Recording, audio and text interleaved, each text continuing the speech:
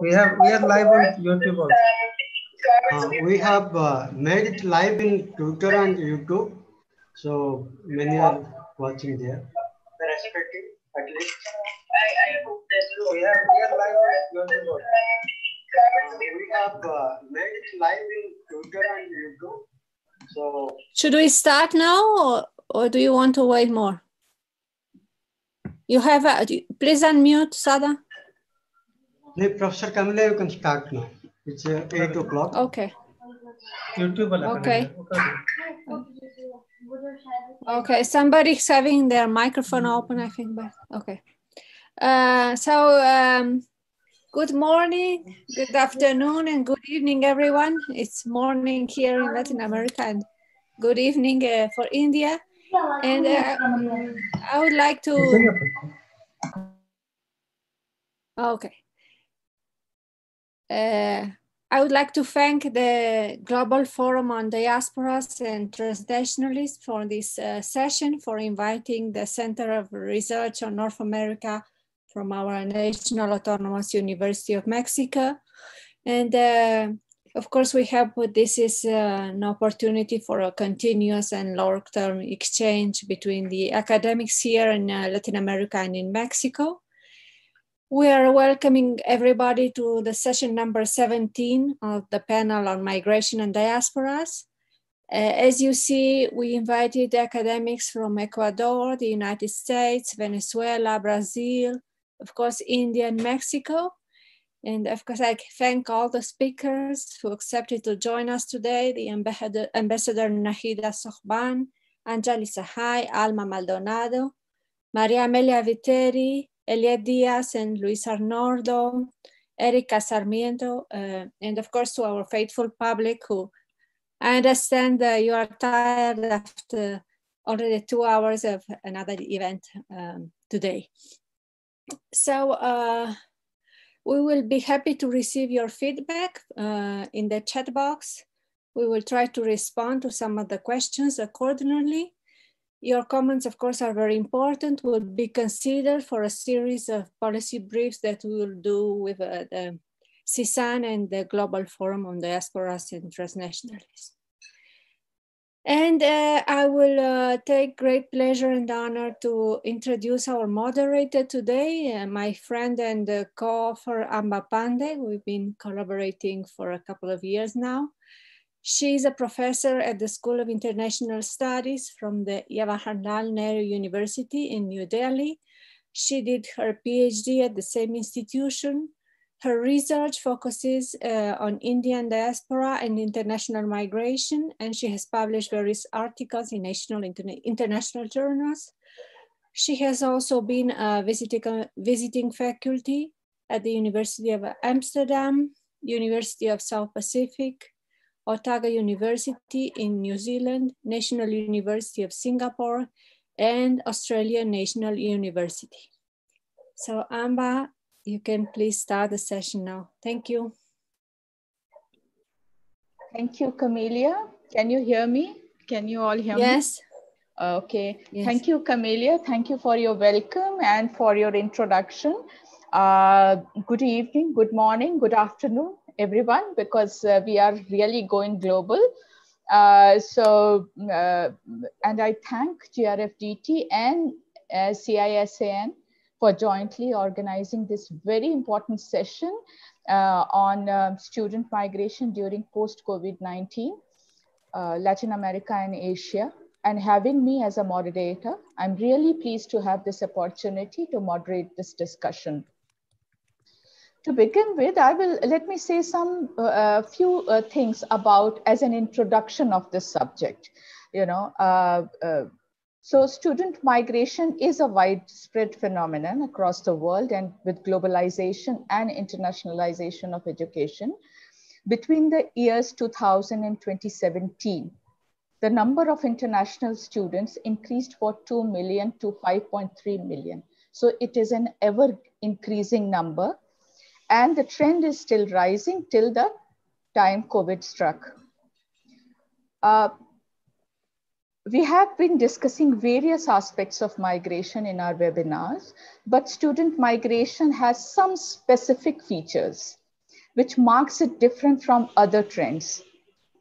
For the sending countries, which is mostly generally the uh, developing countries, uh, student migration is not only a source of brain drain, but also a drain on capital, drain on wealth. If we take the case of India, which is the second largest sending uh, country with numbers constantly increasing every year, the uh, spending on tuition and hostel fee, etc., goes beyond 2.8 billion per year as far as the RBI, Reserve Bank of India data says. The second specific aspect of student migration is that both push and pull factors are equally important, or perhaps pull factors are more important than the push factors. There is no doubt that developing countries increasingly need high standard educational institutions for the growing number of their students. But the data proves that the educational institutions in the developed countries are more in need of the funds to sustain their expensive educational system. In the year 2018 uh, 19 only, international students made a huge financial contribution of $44.7 billion to the US economy. So you can see the kind of money international students are pushing into the developed economies. If we see India's case again, the rising gross enrollment ratio in higher education has created a huge gap in demand and supply for higher educations, uh, education, especially uh, the, in the institutions of repute, which, into, which induce student migration. However, if we see the receiving institutions, studies point out that contribution from international students is the most important source of revenue for them and they rely heavily on that.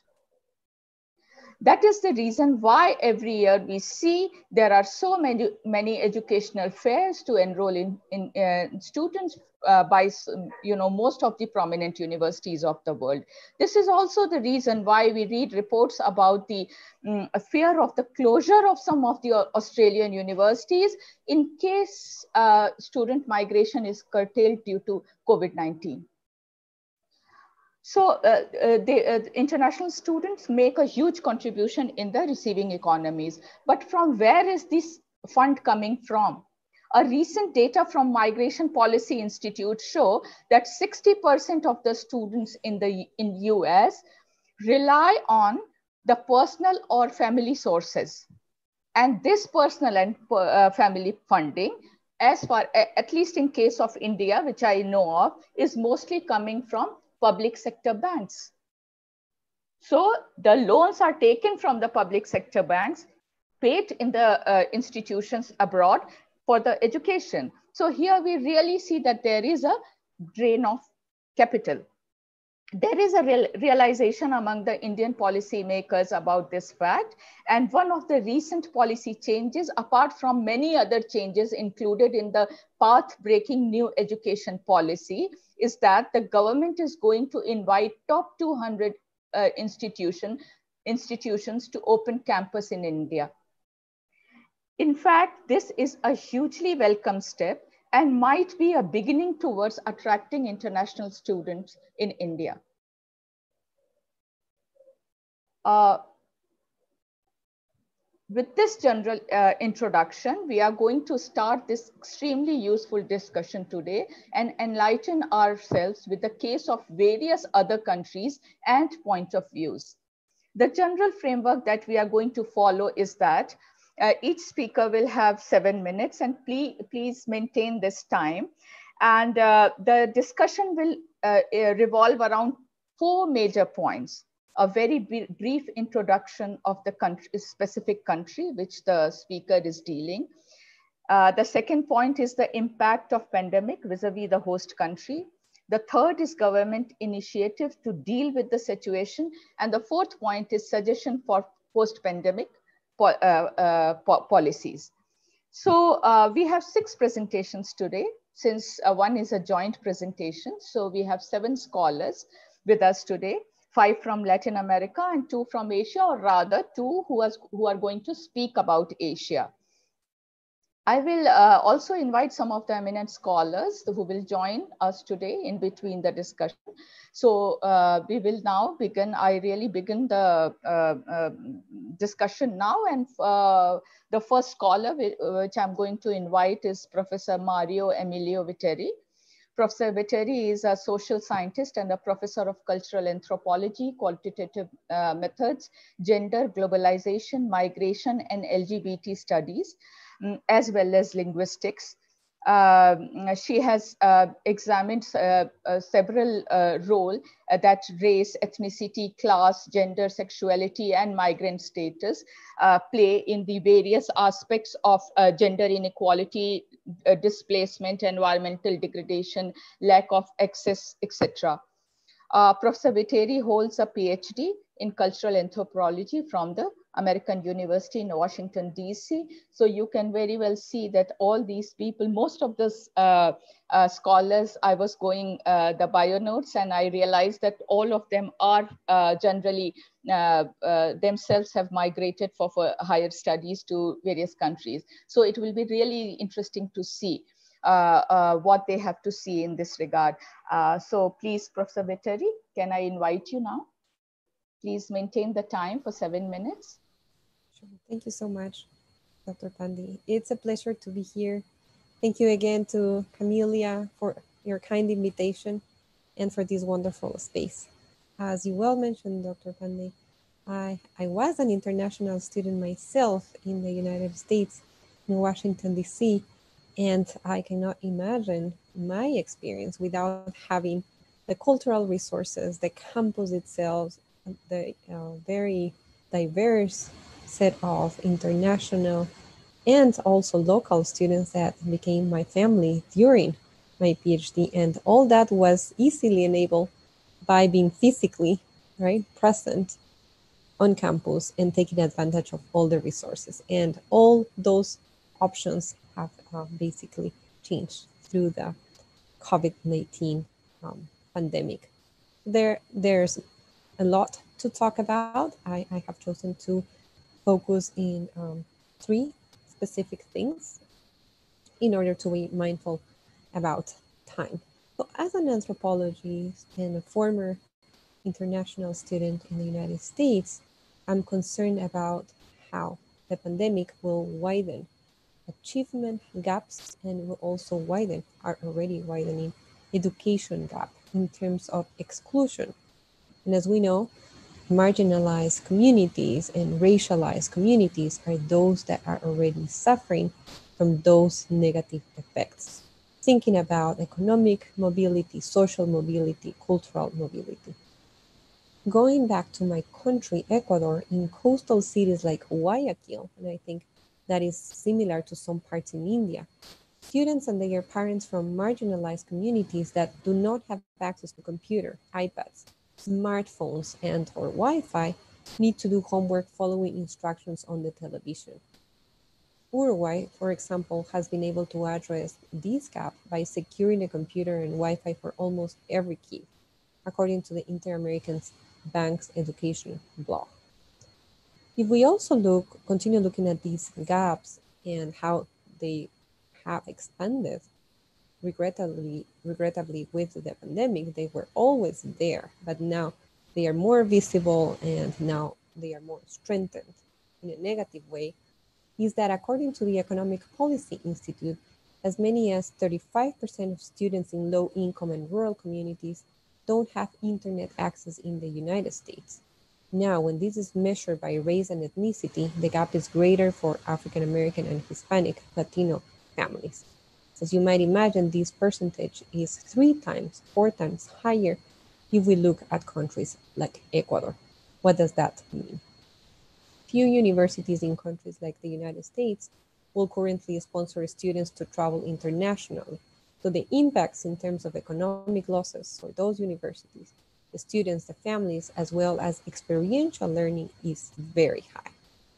In the case of private universities in Ecuador who have fostered exchange abroad continuously, they might not be able to guarantee students' safety For example, if a student is to get sick in a, in a destination country, this will require additional health resources and otherwise.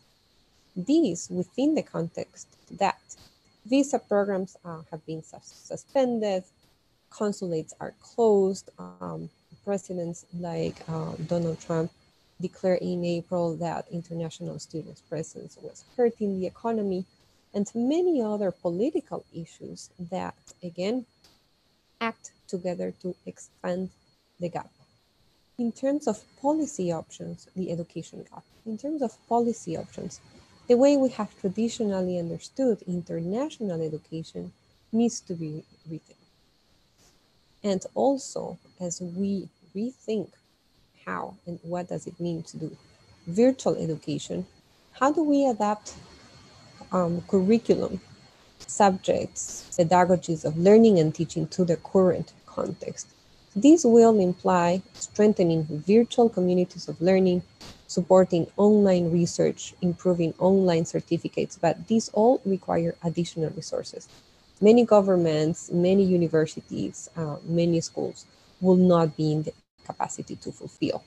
We are still learning on how to adapt new technologies to create excellent quality through virtual teaching learning. In the case of my university, is a private liberal arts universities, university in Ecuador is the highest rank in the country we have um, the opportunity because the university has the resources of having been trained from week one uh, when the pandemic was declared in better ways to um, do virtual teaching and all the technologies in place for professors. And again, this is not the case for the majority of the country. In terms of post-pandemic scenarios, I believe that one of the key words, which is flexibility, will continue to be the central word, as well as adapting to what the context allows. For example, partial reopening of laboratories like uh, medical and or engineering and or math laboratories. In the case of School of Arts, partial reopening of studios. What does that imply for both students as well as the administration in the universities?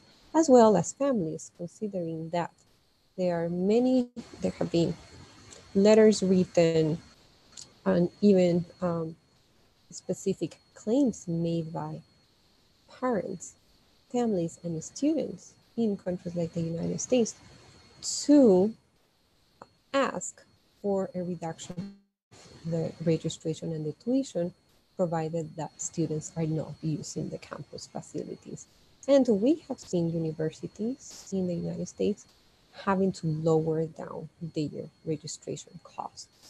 So we will see, we will continue to see a change and a negotiation between also the extremely high costs of education, especially private education, and how uh, families, parents, students negotiate and navigate those um, high costs as I um, close yeah, please, please this intervention, yeah. the mechanisms we're currently learning from the pandemic will have a lasting effect in how we craft curriculums.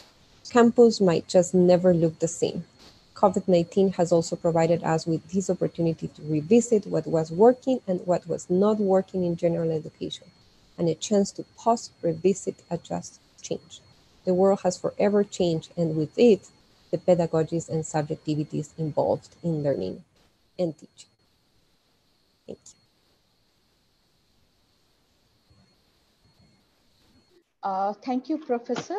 Uh, thank you very much. And you really raised some of the very pertinent points here about the uh, rising gap due to the excess of technology and uh, whether, you know, these online, uh, this uh, whole process of online courses, you know, and whether it, they are going to reduce the registration fee, etc.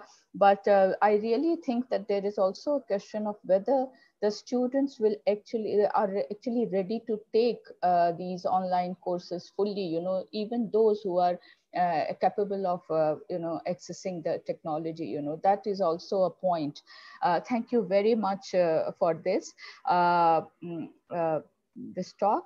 Now, let me invite Professor Ambassador Nahida Sobhan from Bangladesh. Ambassador Sobhan is a Bangladeshi diplomat who is the first uh, female diplomat in Middle East. She served as Jordanian ambassador from January uh, 1st, 2020. Earlier, she served as a Director General of UN Department of Ministry of Foreign Affairs.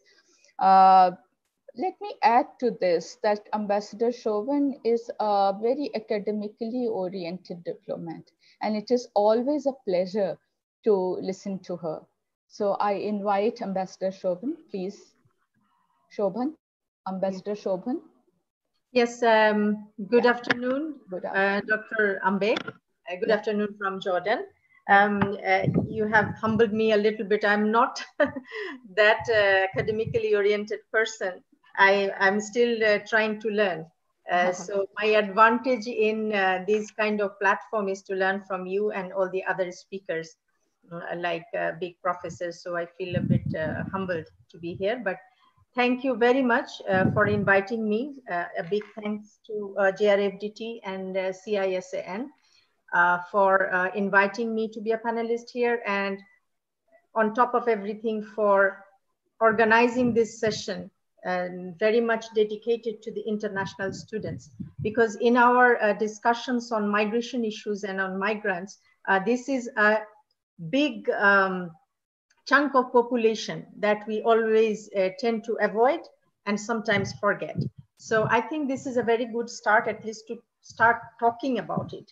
And even during all the negotiations that we had previously, where I, I had the opportunity to engage, like the negotiations on um, inclusion of migration in 2030 Sustainable Development Agenda or in GFMD or in uh, Global Compact on Migration, we never had the opportunity to include the international students. And this is a big gap. Why big gap? Um, I'll come to that later, but uh, let, let me uh, just give you an idea. I, I have four areas to look into. First, uh, since I'm coming from Bangladesh and Bangladesh has um, sends out a huge number of international students abroad from Bangladesh. Um, uh, so I'll focus a little bit on the Bangladesh scenario, then the global scenario, and some of the main challenges, and lastly, what can be done. So um, to talk about Bangladesh, as I was saying that uh, in general, we have a huge um, number of population, 170 million people in Bangladesh. Uh, and um, as per the UNESCO's statistics in 2017, there were more than 60,000 people going, students going abroad for tertiary education. And uh, most of them, uh, well, our the, the students from Bangladesh used to be mostly going to like USA, Canada, and UK. But very recently, Malaysia has become the highest destination, having around uh, 23,000 uh, students receiving from Bangladesh uh, in Malaysia uh, from 2018. but apart from that, USA, Australia, UK and Canada are top uh, four, um, apart from Malaysia, are the top four um, destination of students from Bangladesh. And USA, Bangladesh, uh, Bangladeshi students are among the top 10 um, countries of origin in, in, the USA. Most of the topics that they uh, go abroad for studying are like medicine, um, medical sciences, IT, and business. Um, the reasons. Uh, it is mostly, uh, I would say, uh, the capacity in the financial terms or capacity in the economic terms.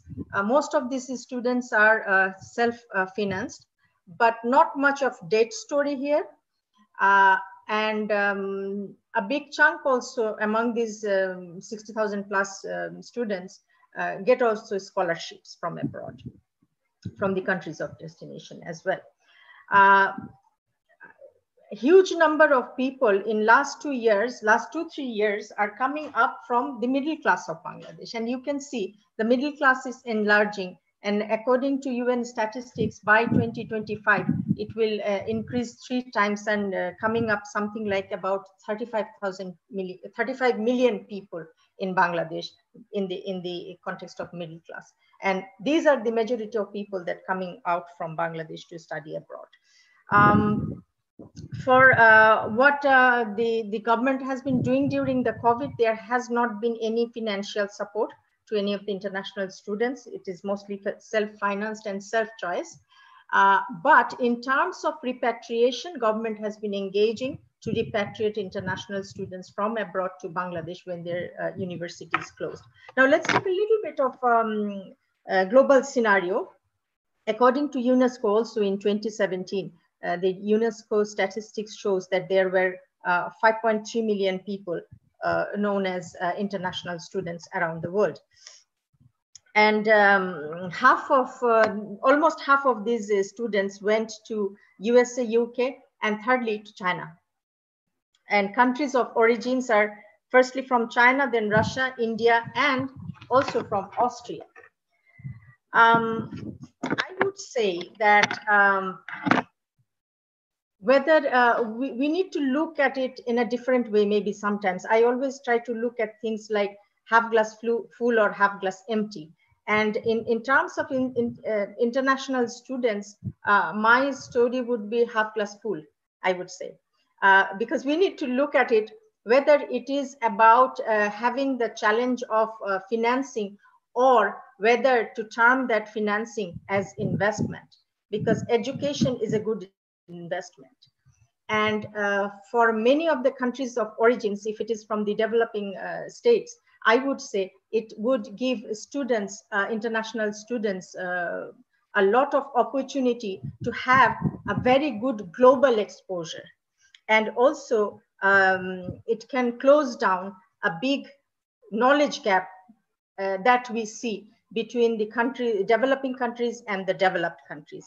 And Secondly, also a very good um, opportunity for um, an exposure of the international environment and international education environment. So it's, it's making the international students a part of global citizenship. And that's the uh, half, half glass uh, full from my part.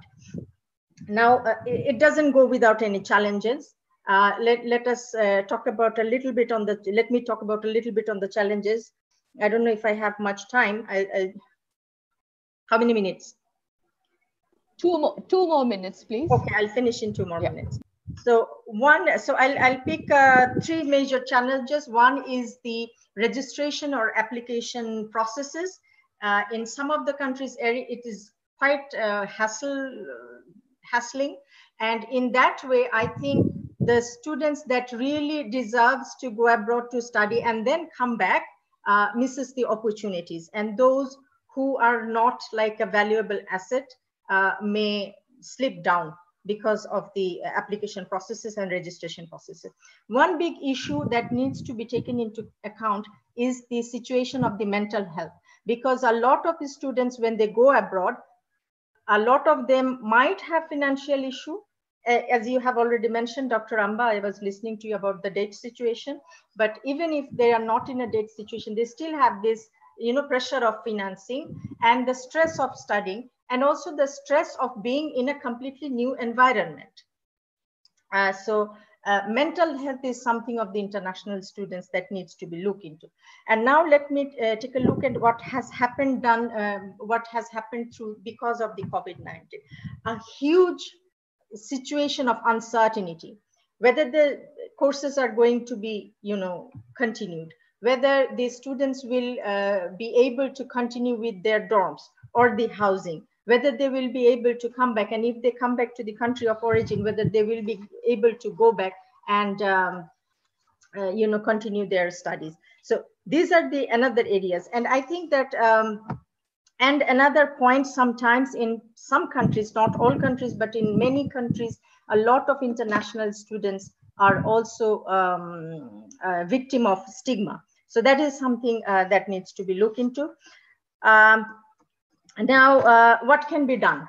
Um, I would say that um, a lot of uh, proper training and also in in in uh, in change in policy making Please, Can please. I take 30 seconds? Yeah. Uh, eh, policy changes in the countries of destination and countries of origin is very much required to help these students and also to help this mobility. Uh, mental health should be taken care of by the institutions as well as by the host community. And also lastly, I think that a new mechanism that we should be uh, looking into that needs to uh, take into account the crisis situation and also include the international students and their challenges in order to make both the countries of origin and the countries of destination uh, to gain from brain gain, not brain drain. Thank you. Thank you, Ambassador Sobhan. This is really interesting and thank you for seeing the half glass full and uh, seeing that we are creating the human capital, you know, that's a big thing. But, uh, mm, uh, you know, the problem arises when there is a distress migration of students, you know, since we are not able to provide uh, the suitable uh, educational standards to them. So uh, thank you very much for this. So our next speaker I would like to invite is Professor Alma Melando.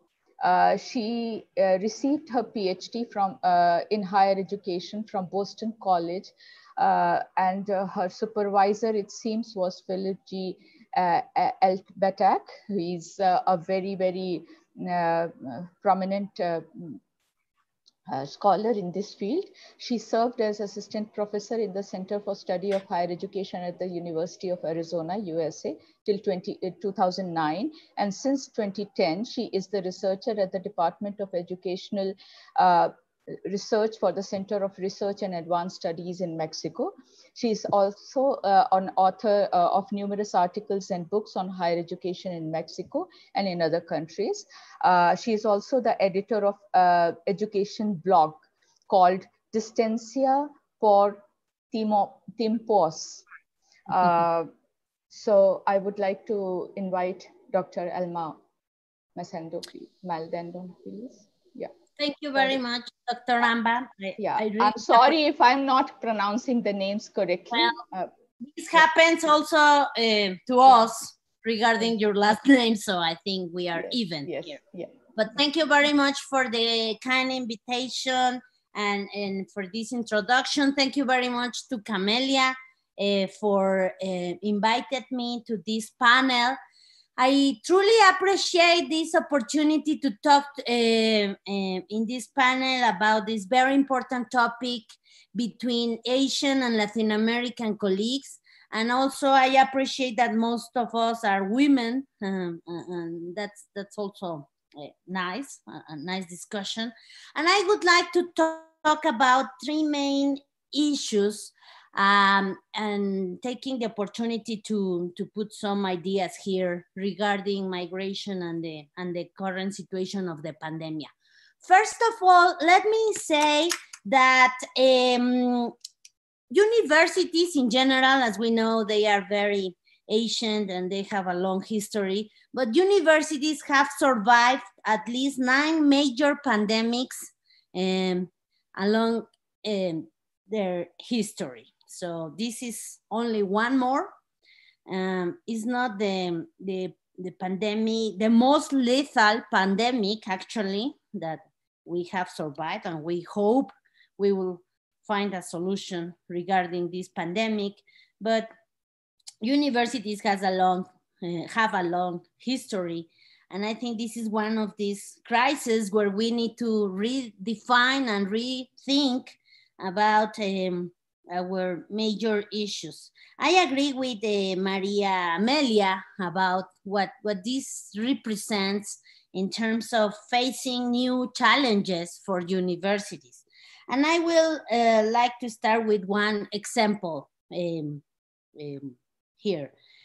First of all, universities are international. This is another characteristic that we know about universities since uh, their creation. By definition, they are international. Um, so, but there, there are several discussions that at least uh, in my case, I tried to avoid for a long period of time regarding internationalization and universities. And one has to do with what is an international student. And for a long time, I, I, I didn't want to really address the debate on to what extent an international student can be an online student. And I think this is the moment where we have to redefine this and we need to discuss again because um, in my in my opinion and given my training i also studied in the us and i was a professor in the us and and so on. Uh, international student one main component has to do with um, moving geographically to another country and have the experience and live the experience. And and obviously the european union came to redefine what was an international student because they also define it by domestic, non-domestic. I mean, there were all these different terms to define international student. But in terms of online students, that was more difficult always because we were saying, well, it is not exactly an international student if they don't have the experience. But now that we all suddenly, we all became online professors, online students, I think it's a good moment to reconsider this definition and to rethink what is the way we are um, um, defining this. Uh, and this is just one example. The other, of course, has to do with migration. I mean, this pandemic has um, um, um, um implied different challenges regarding migration. And I will use two quick examples um, in terms of, of the time. One is the recent debate in the US regarding um, um, the migration and regarding this um, issue on if you are not taking classes at the campus, you won't be considered an international student or you, you or you will lose your uh, rights as an international student and you have to be deported. This is one thing and, and obviously uh, the issue uh, was solved uh, fortunately in the US in terms of uh, uh, allowing them to take online classes. But I will put you the other example in the case of Mexico. Here we are discussing that if you are not in the country, you are not allowed to receive the national scholarships as an international student because you have to be in the country.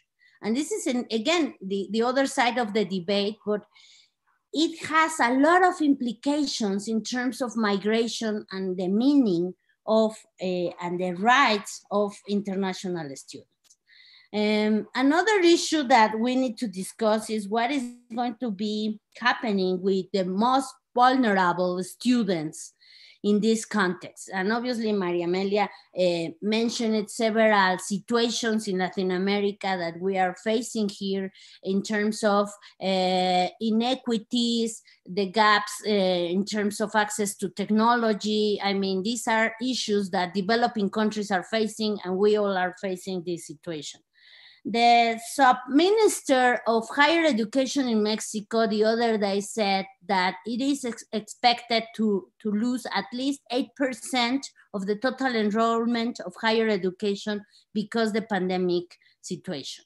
Um, this is probably very optimistic to think about only 8% um, will drop.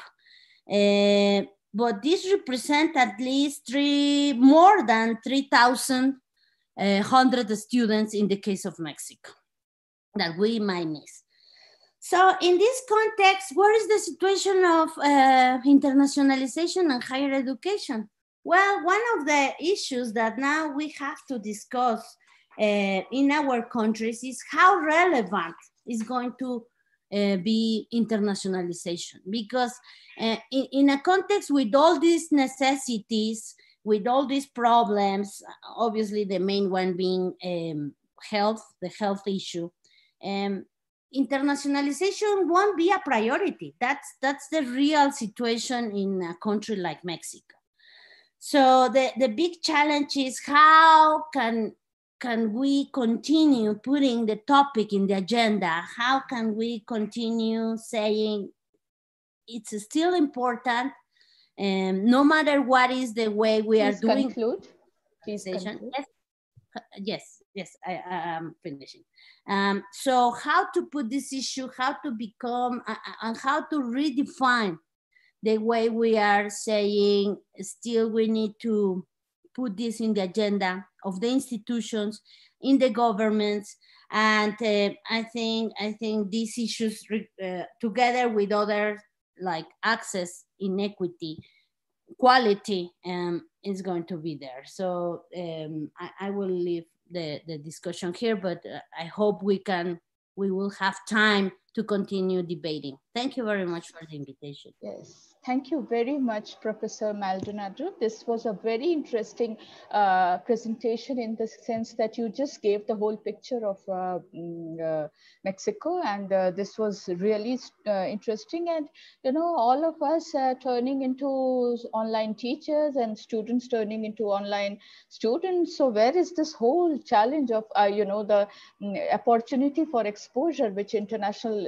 education brings is, is have to be seen and how this uh, how the developing countries are going to actually uh, mm, uh, uh, address this issue is also to be seen. Thank you very much uh, mm, for this. And uh, as I had uh, said earlier, that we have some very eminent scholars from all over the world with us now. So I would like to invite from the uh, Rio de Janeiro Federal University, uh, Juliana Fogul, uh, Professor Juliana Fogul. can you please come and say your opinion, give your opinion in, very briefly about this whole situation? Professor Juliana, are you there?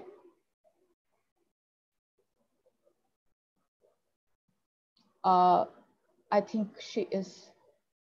Uh, we cannot hear you. Please unmute yourself. Uh, I think you may hear me now. Yes. Thank you. Thank you for uh, being here. And uh, we would love to hear something from you on this issue.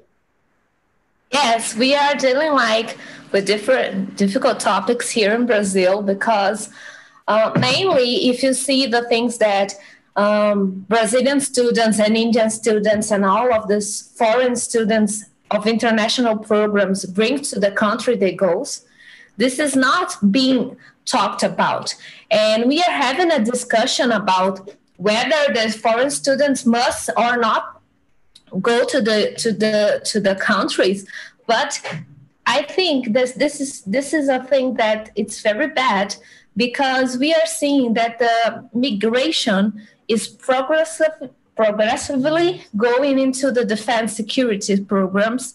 And even with trump with all of the barriers they put in the the foreign to come in and the mexicans and the indians.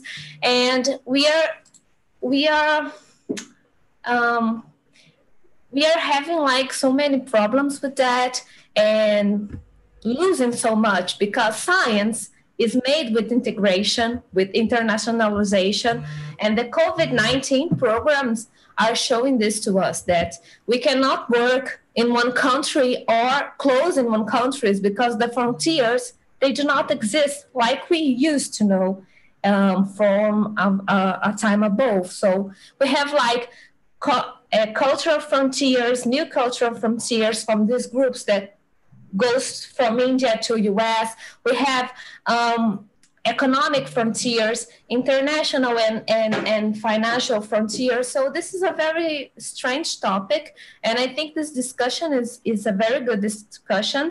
And we have to achieve a lot of progress because when you stop the international migrations of students, we are stopping the, the learnings and all of the things that these students brings to their countries that they provide and the countries that they goes to. And here in Brazil, we have a, a federal program that are losing so many students now that called Ciências Sem Fronteiras that the government puts to um, to internationalize our science and our students learning that we need to go broad, we need to go to other places. So I think I would like to propose or ask for the people how do they see that this progressive, um, how do they see uh, how are we are going to lose um, in, in terms of going forward in our academic discussions and academic achievements with these um, limitations from students to going abroad. Ma'am, please. I'll just conclude it. Yes. Okay. Thank you, Thank very, you very much. much. Thank you very much. And uh, uh, I also uh, uh, would like to suggest that please write your questions in the chat box so that in the end we can take it up if in case we have time. So uh, I also want to invite uh, Professor João Carlos Clevenzeira.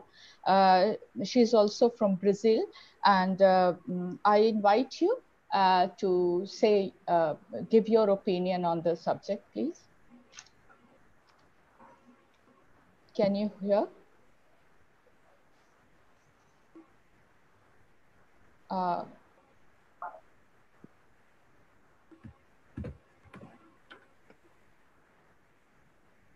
Hello.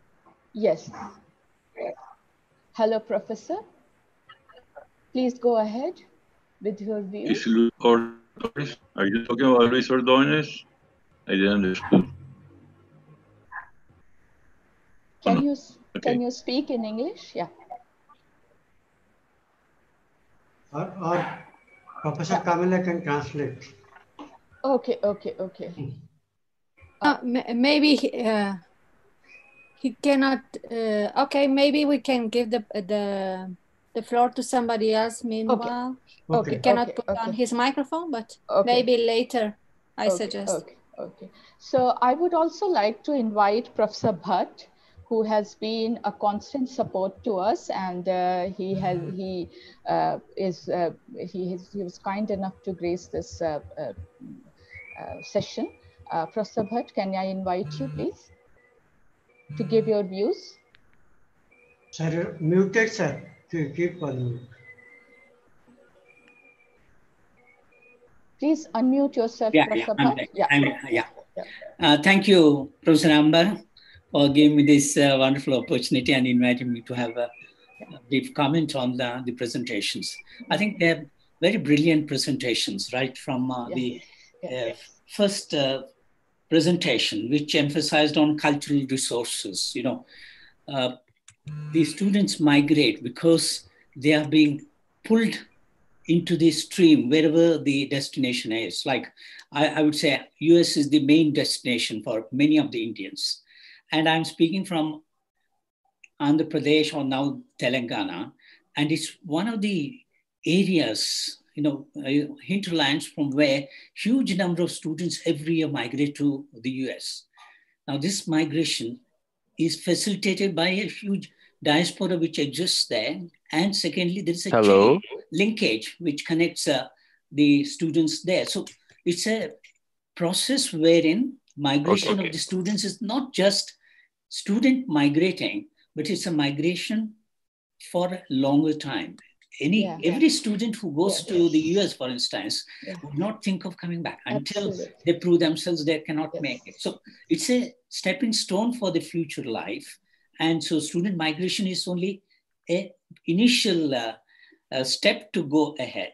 Yes. And uh, therefore, it's it's same for all the developing countries. Most of the developed countries, all their cream of their population, you know, student population gets yes. absorbed in these countries. And perhaps you find a new kind of empire building, yes. you know, like uh, we had uh, earlier, the colonial empire building. And today it is a new colonialism uh, under which uh, the elites, the, the intelligentsia of all the countries, from developing countries in particular, yeah. assembles in certain uh, locations. And that is uh, one of the important uh, points which need to be looked into.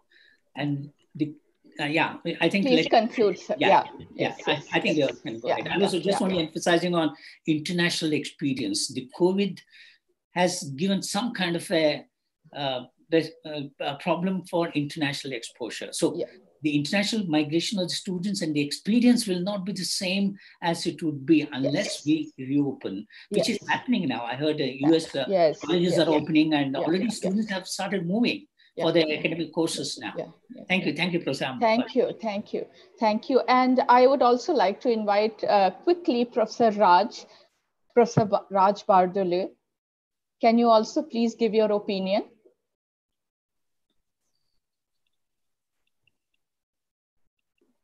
Is Professor Raj there? Okay, so in case we will, I, I will, in case Professor Raj is not there, so uh, can I invite again Professor João from Brazil? Are you there, sir? Hello, can you hear me? Okay, okay. Yes. Okay. You can hear me oh, now? Both of them are there, yes. please. Uh, uh, wait Ra- a minute, Camelia. Raj, yeah, Professor Raj, please continue. Then we will again yeah. invite, yeah. Okay, uh, thank you very much for giving me the opportunity.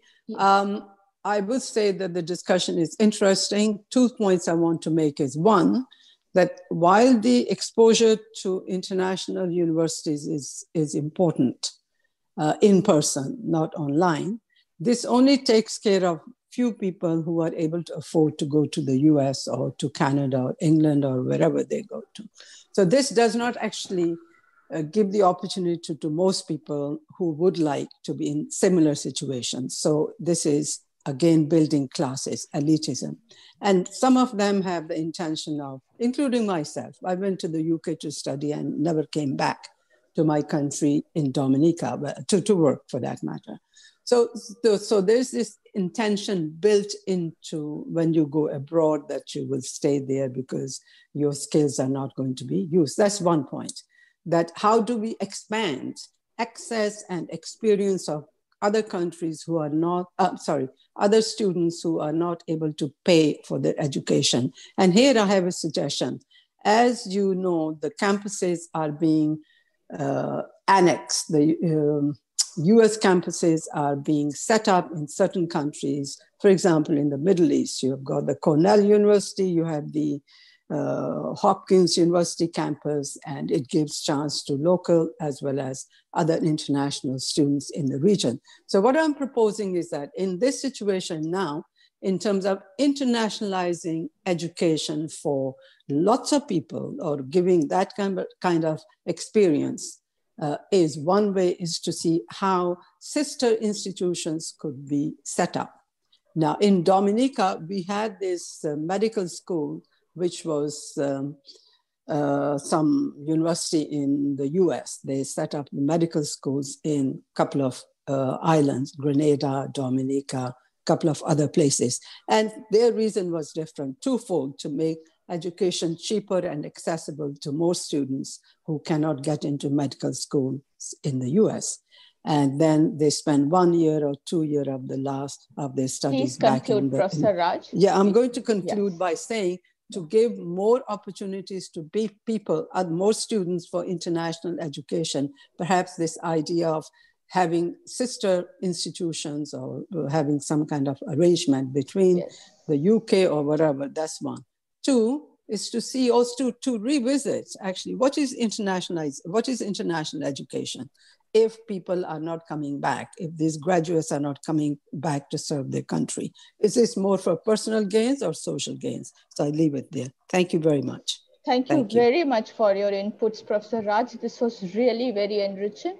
And yes, I mean, the way you said about, you know, these uh, opening sister institutions, campuses, you know, this is really a welcome step. Uh, I too, uh, I, you know, agree with you fully.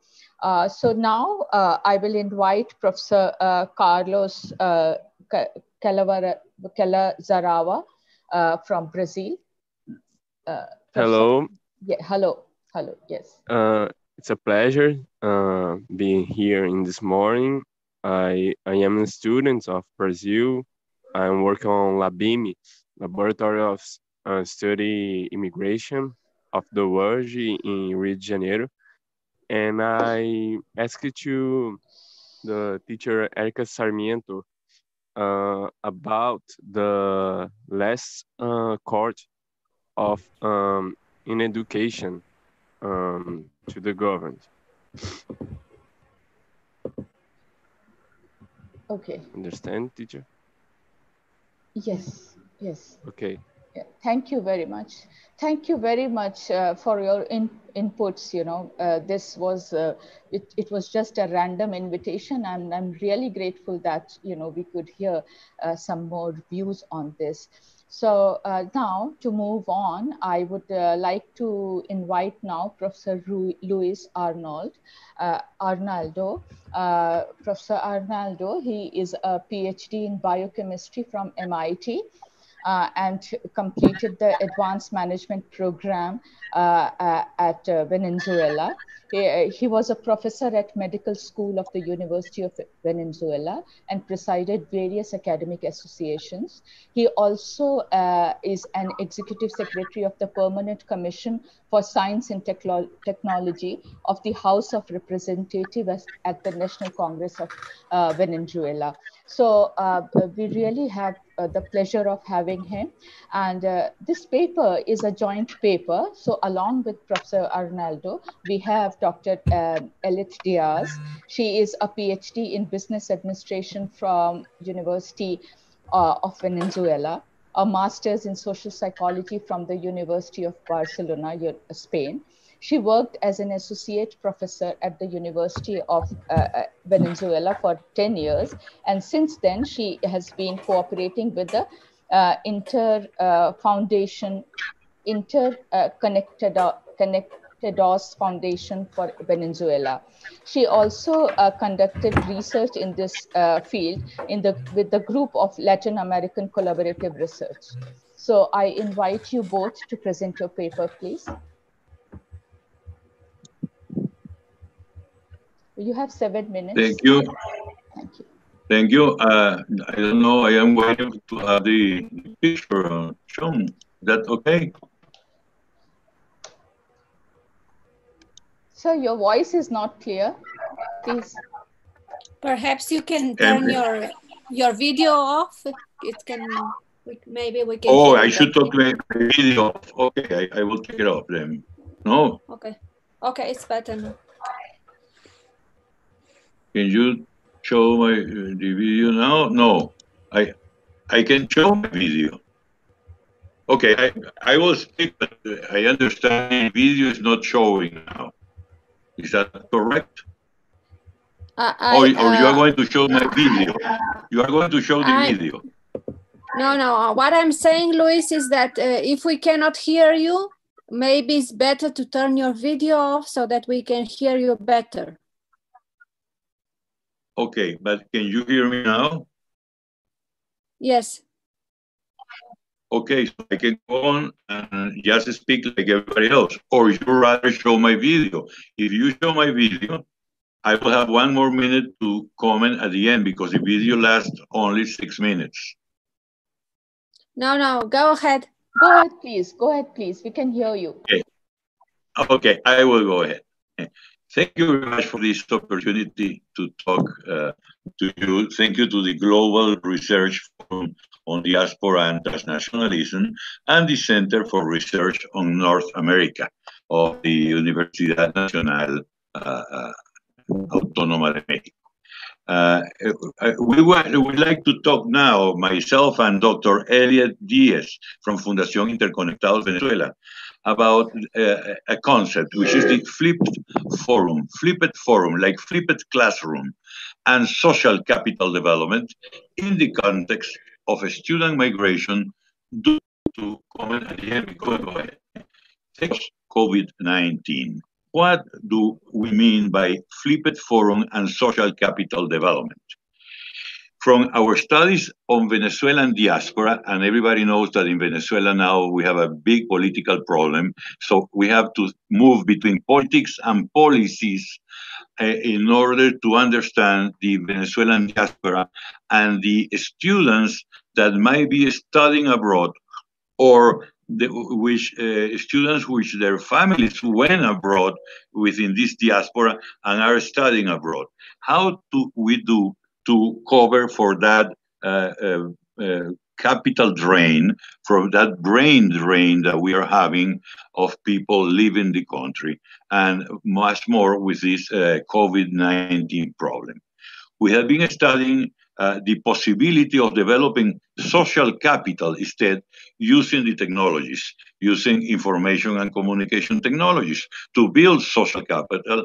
And in, in this time of diaspora, we understand that with COVID 19, more than ever, peer to peer electronic communities must be developed more in these times, and uh, they are very clearly related to student migration peer-to-peer communication uh, directly will uh, allow to exchange information, distribute tasks, or execute transactions. So we some people even think that the technologies technologies are a panacea. But what is the problem and in the world is trust. How do we trust each other? When you use technologies, it's even harder to develop trust. We all know from the sociology uh, that uh, primary groups develop trust through life, family, country, and so on. Uh, when these students go abroad, it's very easy for them to, uh, to generate bonds, what is called bonding social capital with their uh, relatives, with people from the same country.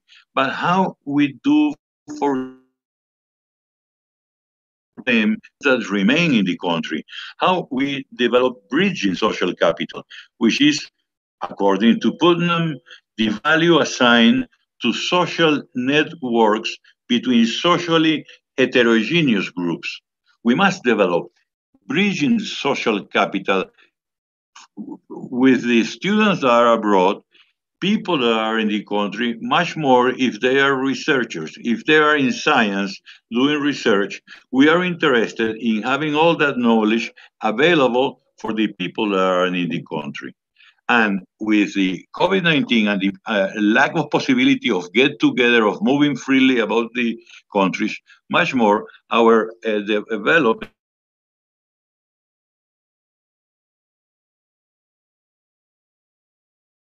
of flipped forums is uh, in the chat my email, and I put it uh, uh, uh, a reference is in Spanish the paper, but you can translate it into the use of uh, the, the, technologies as a motivational element to work in, in science. Let me explain very quickly what a flipped forum is. Imagine that today's forum that we are having, this very important and interesting forum between the Americas, Asia, and Europe, people in Europe, people all over the world, we have done it in the following way. Before the forum, before today, 15 days ago, all of us put up in the web our talks, six, seven minutes talks, put it 15 days before. We have 15 days time to see those talks, to see the presentations, make notes, uh, uh, ask the the opponent, the the, the professors who gave the talks what uh, to clarify points make uh, uh, forward ideas and then use this time rather than watching each other for seven minutes times uh, is over 40 minutes that we will be watching each other going directly to to discuss things that could come up from the previous watching of the presentations. What we have been doing for eight years now with the Flipped Forum in our country is to have uh, in a national meeting, the Venezuelan Association for the Advancement of Science, we have these flip forums where people abroad, people in the country present their talks previously on the web. And the day of the meeting, we come to join together to build trust precisely. With the students abroad, we think that the bonding of social capital is already developed. They probably they are in uh, in contact with people from their same countries, but we ha they have to build bridging social capital. They have to start meeting people in their own field of research in other countries, in their origin country, and in the recipient country. If I am doing a PhD in biochemistry, in neurochemistry, I want to know who is doing neurochemistry in my country, in other words in other, in other parts of the world. We can use the flipped forum for them to put up their presentations, have interactions and trust, and therefore building that social capital that is needed in our countries. In a sense, that's what we are doing today. Okay, but let's face it, today we have a two minutes, uh, uh, I would take one more minute. Today, we have to understand each other, something that is very hard because uh, we speak English, uh, you know, more or less rusty English, and we have to uh, understand what we are trying to say and to interact in order to do for further work.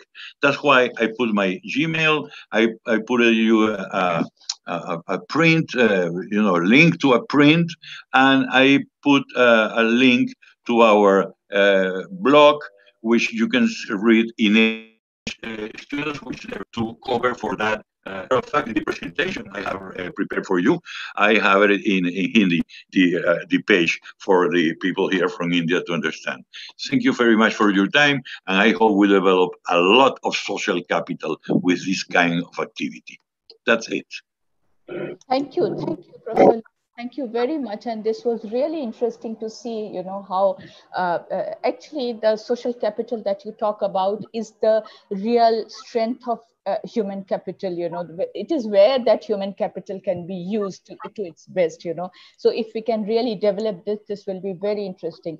Thank you very much. So uh, now i would like to invite uh, dr anjali sahai who is an associate professor, Department of Political, uh, Legal and International Studies, Gannon University.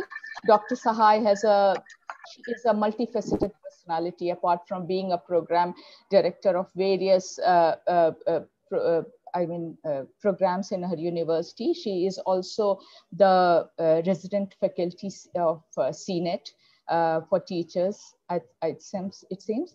Uh, Dr. Sahai um, also successfully runs the Model UN program at Gannon, East Carolina, and Old Dominion, Dominion universities for uh, she has been doing this for almost two decades. Her area of research is uh, on international migration, international relations. Her book, titled Indian Diaspora in the United States, Brain Drain or Brain Gain, um, has received much appreciation in the academic world. Uh, and apart from being an educator, Dr. Sahai is also a leader, author, researcher, and a performing artist of Indian classical dance that's very interesting. And uh, she is trained in Kathak, and we really hope to see her performance sometime.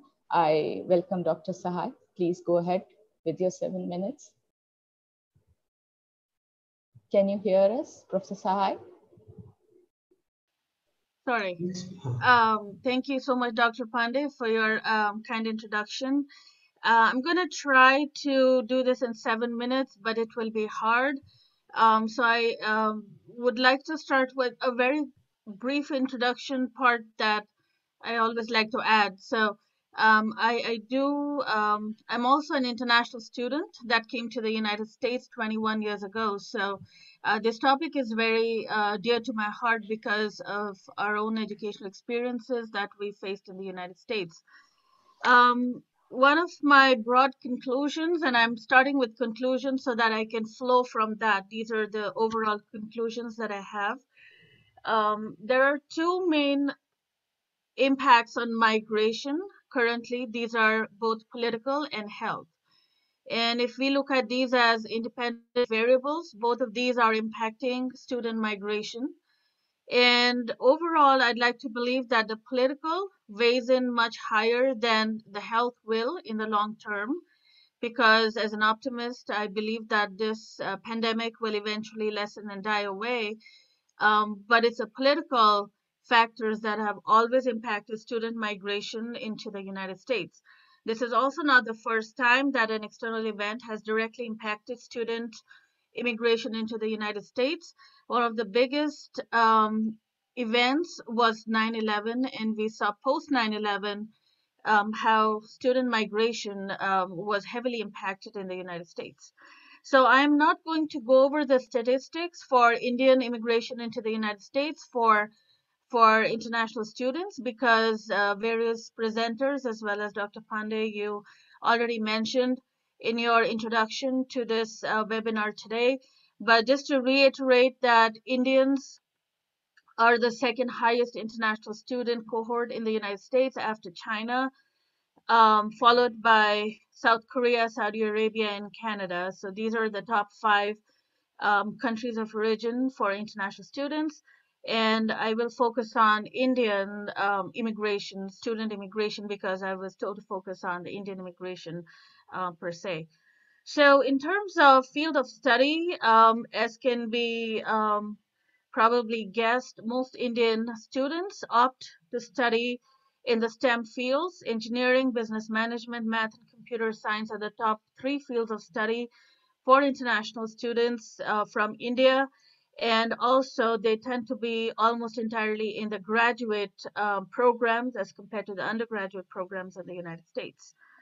So, uh, moving on to um, the impact of the pandemic versus the host country, um, I'd like to take a completely political view on this and start with saying that while the world was uh, grappling with the impact of COVID-19 pandemic and how this would impact the immigration, it's very important to note that even prior to the pandemic even began, uh, in terms of um, the current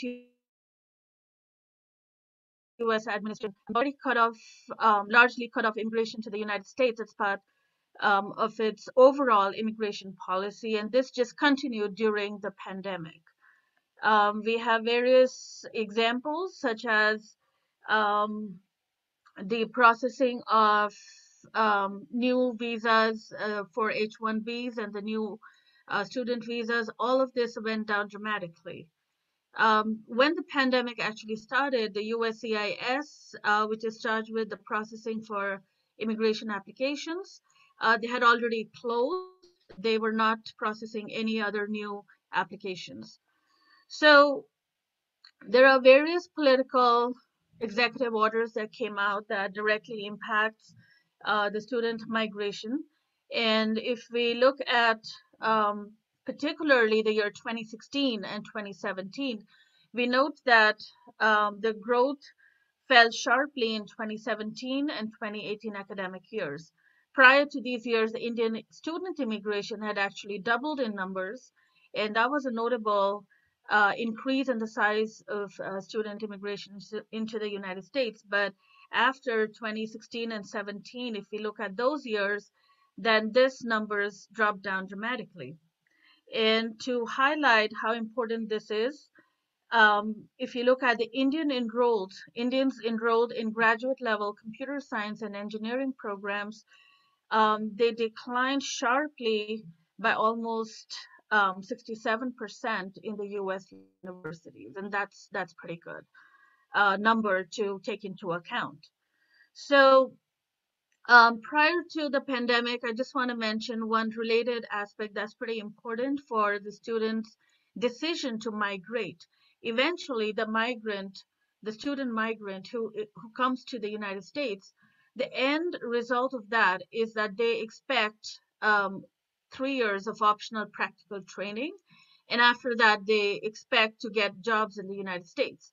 So when there were announcements that no new H-1Bs uh, would be um, processed in the United States that had a trickle-down effect on new student applications as well. So I'm almost at six minutes, so I'm going to go straight to the um, COVID um, COVID hurdles. Um, clearly, the some of the biggest hurdles has been the ban on international flights. Um, so students cannot come into the country. But when uh, it was announced, um, as we've already talked about it, that if uh, you cannot be in a complete face-to-face um, um, uh, classrooms, then you cannot be considered international students.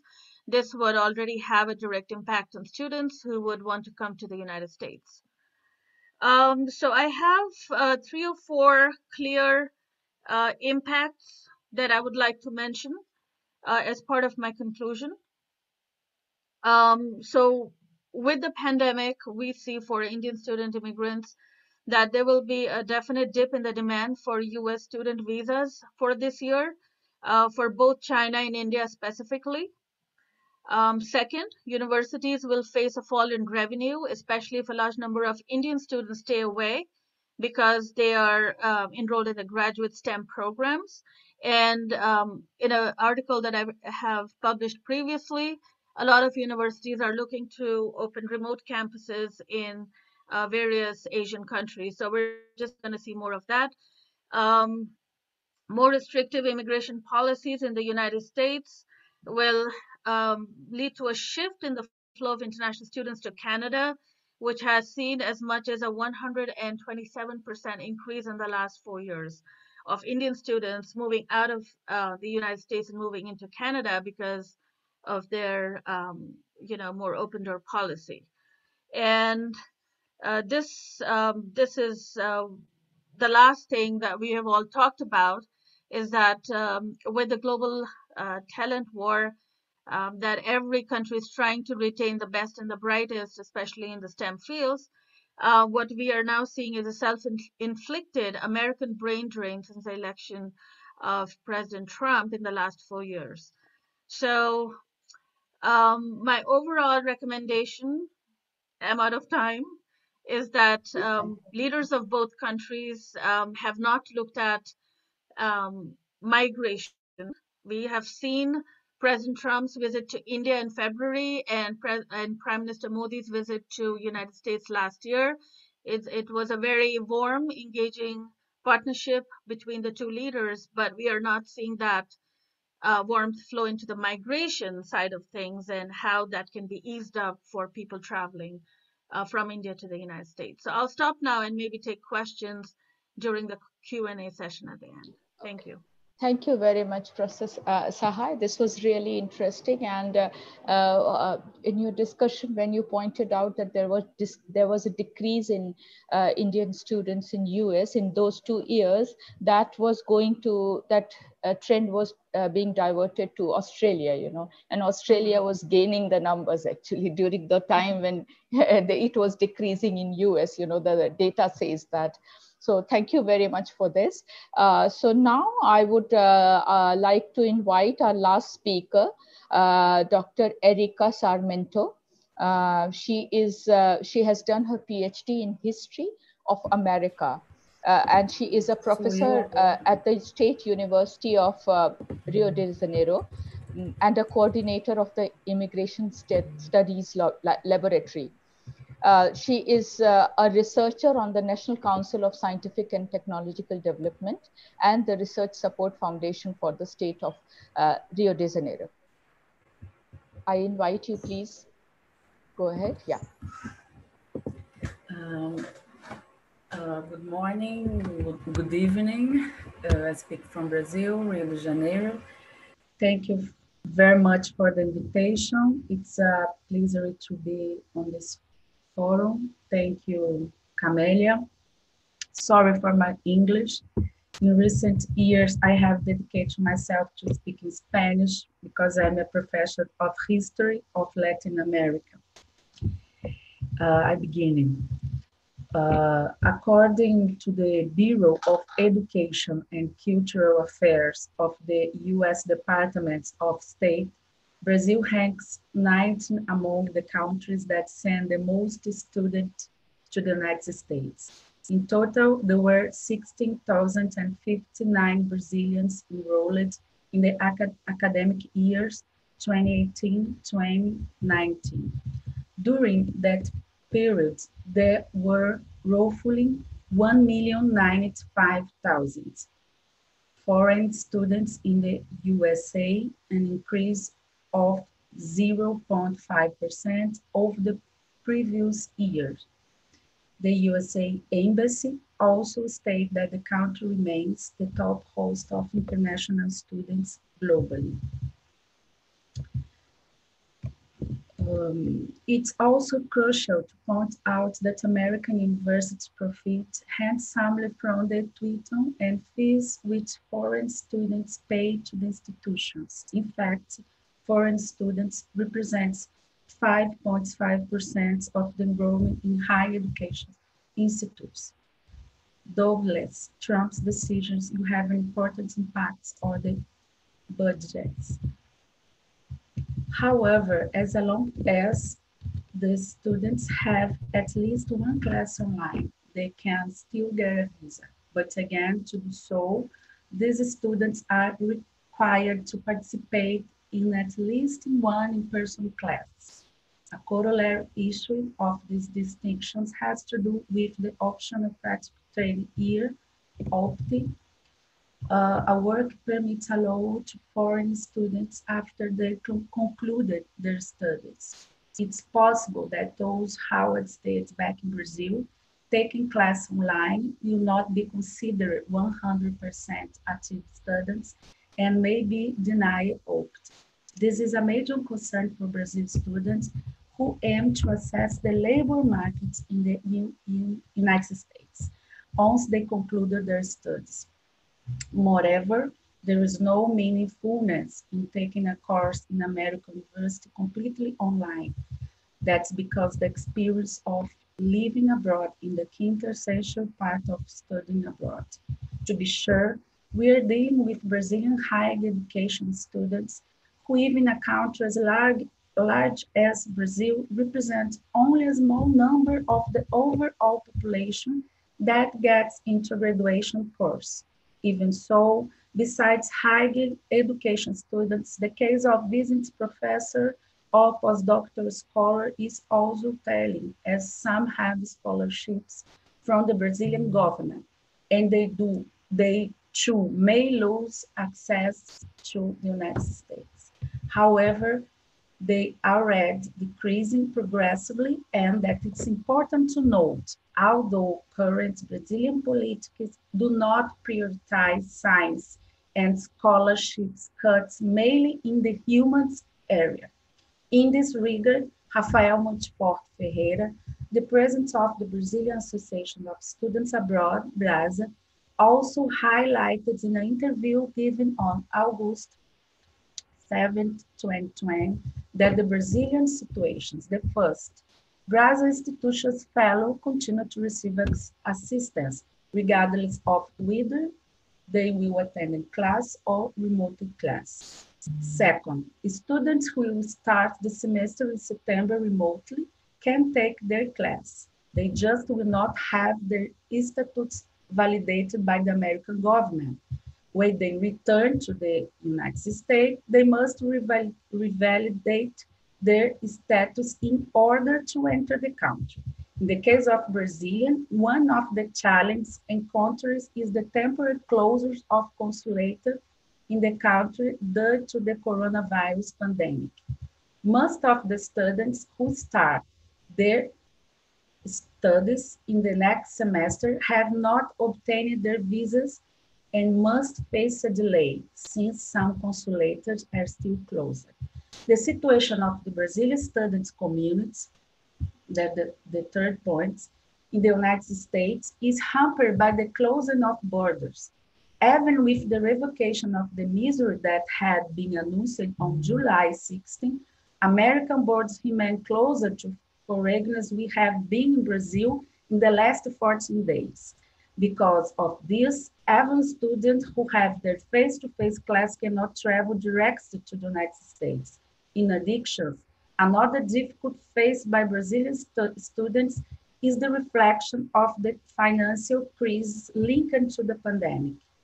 Since the Brazilian currency, the real has depreciated considerably against the dollar. Consequently, it's difficult or impossible even for middle the class to travel United States or to Europe.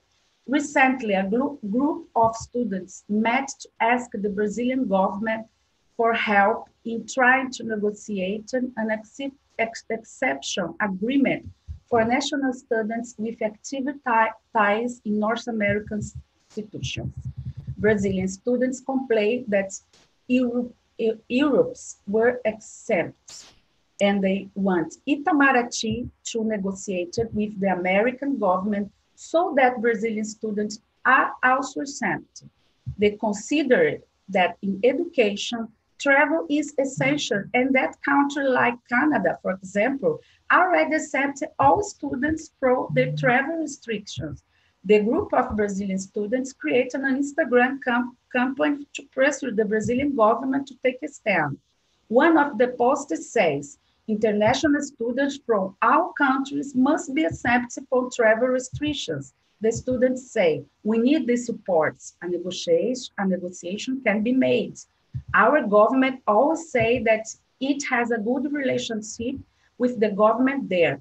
That's totally possible. If it were a health issue, countries like Mexico will be banned. In general, the situation for Brazilian students likes to get more complicated in relation to their return to Brazil from the United States, States as well.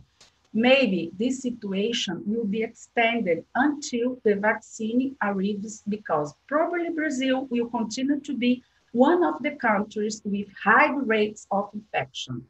Even so, it's necessary to implement returns policies for students, perhaps agreement between countries so that students can start their school semester in September and can quarantine before integration to society at large. So what policy should have in Brazil or in other Latin American countries to the improvement of the students' migration during the pandemic period? One of the policies that Brazil could adopt for students' migration during the pandemic should be conducted through the Brazilian embassy through agreement with the United States regarding the commitment of these students to quarantine in the United States before starting classes. Please Another, conclude. Please conclude. conclude. Okay, I conclude. Um, I conclude with important things. In the last week, the Brazilian government cut 18% of the Ministry of Education budget, budget and increased the military's budget. This means a loss of millions in Brazilians' education, scholarships. This government's priority is not education. That much is clear. Thank you very much. Thank you very much. Thank you. Uh, it was very interesting. And yes, uh, uh, you know, the uh, government to government uh, agreements can actually resolve some of the issues that the this COVID has brought and uh, solve some of the problems that the students are facing. So basically, we have done with all the speakers, but in the end, we also have the pleasure of having Professor Vinod Khadria with us, who has worked extensively on student migration. So can I invite him for two minutes, sir? Professor Khadria, sir, are you there?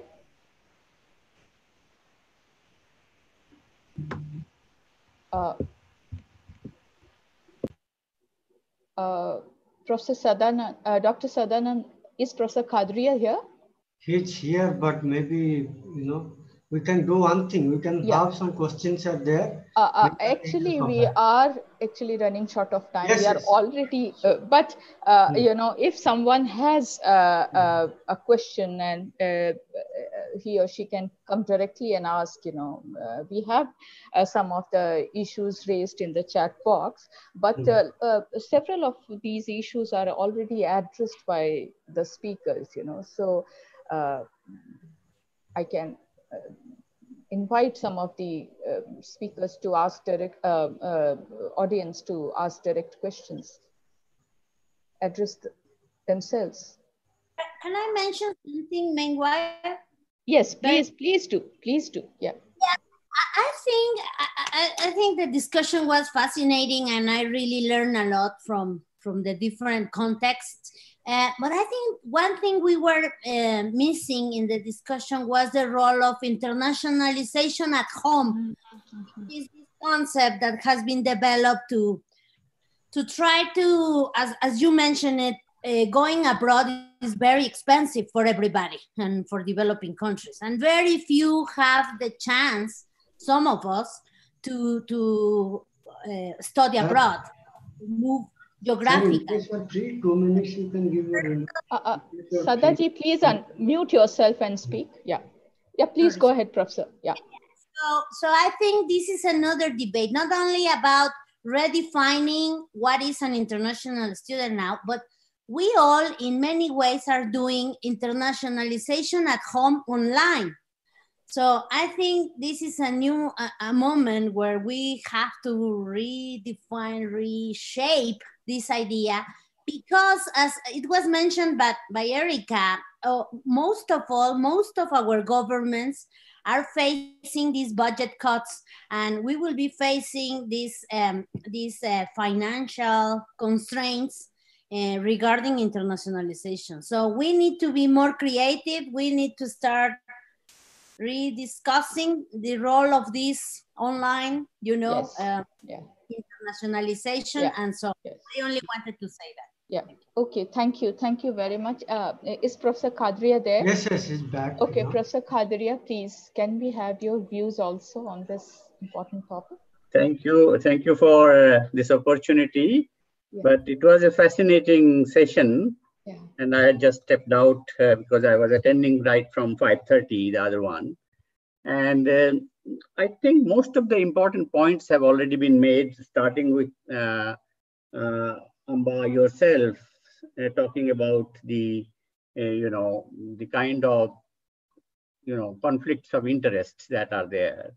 In terms of uh, it is becoming a, a subject of trade, trade in services, you know, and we have seen that, uh, you know, under the WTO negotiations, how new subjects were brought under the canvas of trade in services, education, health, and so on. And all these things that we have discussed are actually part and parcel of that framework, whether it is uh, students going abroad for education or institutions moving. Uh, there are, of course, hurdles in terms of national legislative frameworks which are coming in the way of where, how it should be dealt with, whether it should be part of the education ministry or it should be part of the Ministry of Commerce. So those are some of the considerations, but COVID has uh, put us in a spot. COVID has made it important to look at various aspects of education uh, in a disaggregated form, starting with uh, issues of somebody had mentioned about admission, but there are other issues like examination or grading. I mean, in fact, the United Kingdom is going through this issue of U-turn on grades, you know, whether they should be uh, awarded through some algorithm of what they had done in the classrooms earlier, or they should be assessed by their teachers. So, and this thing has been experienced by uh, India also, because in terms of terminal students, uh, how should they be assessed? Whether they mm, should be, you know, their internal assessment should be good enough or uh, whether that would be discriminatory. Uh, because many of the terminal students are going to become international students. And they, some of them have already been in the pipeline in terms of their uh, overseas students' fees have been partly paid, their accommodations have been booked, and you know, even travel tickets have been bought. So there is a kind of a logjam that uh, the students are in. So I would like to put it that we are in uncertain times and the level of anxiety is quite high. And that is universal. That I think is the, is the characteristic of uh, the education system, whether it is national system or international education. COVID has become omnipresent in the psyche of the people. Parents, teachers, students, administrators, all the stakeholders are actually affected by this. So I would not like to take more time because I know you are short of time, but certainly I have thoroughly enjoyed the discussion and one can build on that. Thank you very much. Thank you, sir. Thank you very much. And thank you all from, for this very interesting session. And actually, we, we touched upon so many issues. We touched upon the this new trend of uh, online education. Then, then there, is a question of, then comes the question of uh, exposure, the whole exposure that internationalization of uh, education brings to students, you know, uh, that is lacking. And then there is also a question of uh, how the, the, the lack of access uh, to technology in several of the countries, so how they are going to uh, uh, uh, challenge that, to face that. But within these frameworks, we also have a hope that uh, the world will come back to its original self very soon, and I really hope so. And that and that point, at that point, uh, we are we will be again faced with the question of um, how much this uh, international uh, migration of student uh, is helping the developing countries, even in terms of human capital, if we are talking about. But in case of India, we see most of them are settling in the destination countries only. You know, so the the whole idea of human capital building in uh, in such cases is partially uh, is true only partially. So then those uh, larger question comes. And uh, then the whole question actually student migration is a welcome trend in uh, as far as cross pollination of ideas etc is concerned. But my point is only this, that why not developing countries can also be the um, uh, destinations for uh, uh, international students. You know, they can also be, and it was interesting to uh, hear uh, uh, Ambassador Sobhan mention about Malaysia, how Malaysia is actually now attracting more and more Bangladeshi students. So that is also a trend that that we should welcome and any initiative of uh, welcoming the uh, foreign universities in developing countries to opening campuses I think is a very welcome idea because this whole idea of cross pollination of ideas and uh, exposure will then uh, go to the larger uh, populations and, and that will be interesting, you know, and uh, that also creates a kind of uh, mm, uh, vitality in the local education. I think so. So uh, that's a very welcome trend and uh, only future will tell how this is going to develop. So thank you very much. Thank you all for being here uh, in this wonderful session. And in the end, I would like to invite uh, Dr. Monica Bisht for proposing vote of thanks. Thank you.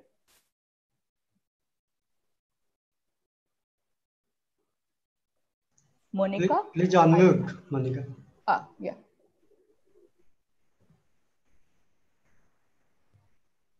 Yes, please unmute. Please unmute. Hmm. Thank you, ma'am.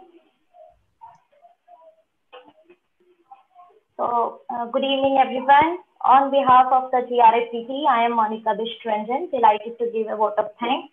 It is challenging for me to give th- vote of thanks in few words, but I take this opportunity to give wholehearted thanks to the esteemed speakers, Professor Maria Amelia Viteri, Ambassador Nahida Sobhan, Dr. Alma Maldonado, Professor Luiso, Luis Arnoldo Ordonez Vela, Dr. Anjali Sahai, Dr. Erica Sarmanto for this insightful discussion today. Uh, respected speakers. Your knowledge and ideas have enlightened us in the area of uh, international student migration. It was a great pleasure of listening to all of you, and we have indeed learned several dimensions on of student migration, such as brain drain, the emergence of the aspiring students from middle class backgrounds in different parts of the world, online mode of teaching and learning mo mode, mental health, issues of financing for return students in the country of origin, from the purview of Latin America and Asia during the current phase of the COVID-19 and the impact of COVID-19 in the future trend of the student mobility. Thank you everyone for this exciting and informative panel discussion. It is my privilege to thank Dr. Amba Pandey for moderating this panel discussion in so organized and effective manner. I must appreciate it and uh, give, uh, give best wishes from the GRFDT team. I also like to thank all the participants, especially Professor Binod Khadria, Professor C.S. Bhatt, Dr. Raj Bardule, for giving your important input and for your kind participation in this webinar. Further, I apologize to the speakers if I have pronounced any of your names incorrectly. I extend my wholehearted thanks to all the researchers, young scholars, students from India and abroad who have participated in our webinar today. Many of have participated since beginning and you are giving so much appreciation, support, support and uh, you know kind messages from across the world. And thank you for those words. Last but not the least, I extend my thanks to the organizers, especially the support team for their uh, communication channels, for their assistance as well as providing timely information in several social media platforms. Now let me inform you about our next virtual panel discussion. The title of the webinar is Employer Tied Visa. It will be hosted on 25th August 2020 at 5.30 p.m. Indian Standard Time. We request you to kindly register via the given link and join us again in our next panel discussion. Now I have one more impo important information to announce here. I am very glad to inform you that the four organizations, that is Migrant Forum Asia, Cross Regional Center for Refugees and Migrants, GRFDT, and Civil Society Action Committee are organizing a six month online certificate course on Global Compact for Migration from October 2022 March 2021 with collaboration. This course is aimed at providing an interdisciplinary and comprehensive approach to understand the human progress vis-a-vis migration and engage the learner in the various applied areas and act as a uh, change agent. The minimum eligibility criteria for the participants is a bachelor's degree with good writing and speaking skills in English. The certificate course will have 16 credits and have no fees. Like our other panel discussions, uh, this course will also be streamed via Zoom platform. We will open the registration link from 20th August till 28th August. The details will be provided with all of you soon and we request to kindly circulate that poster among your colleagues, students and young scholars. I request you to please follow us on Twitter and subscribe to our YouTube channel to know updates from our site. Details are available www.grfdt.com. With this note, I close this webinar here. Good night from India. And uh, thank you, Professor Camelia. And we'll take uh, some break actually, both CSAT and GRFDT. Then we'll come back again after having some, you know, uh, reflection on how it have, uh, you know, gone through and what next plan is. So we'll come back again. And thank you, Professor Camelia, for your company and all support you have given with uh, all the participants, all the you know speakers from Latin American side. It was very enriching, and we look forward more collaboration with you. Thank you. Thank you. Thank you. Thank you.